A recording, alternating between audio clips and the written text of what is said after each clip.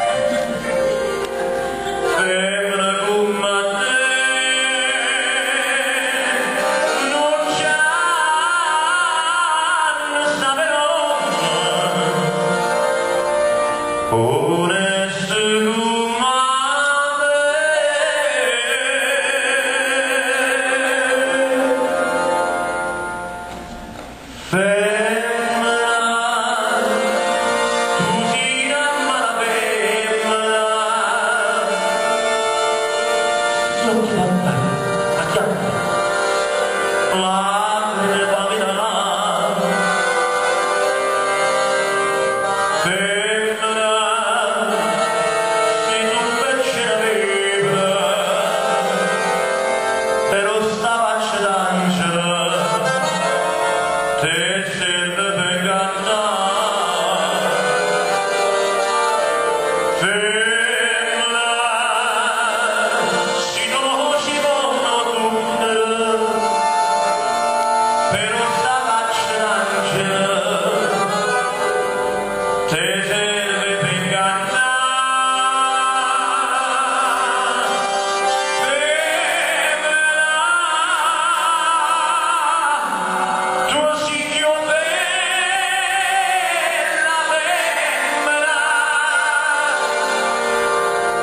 And but you may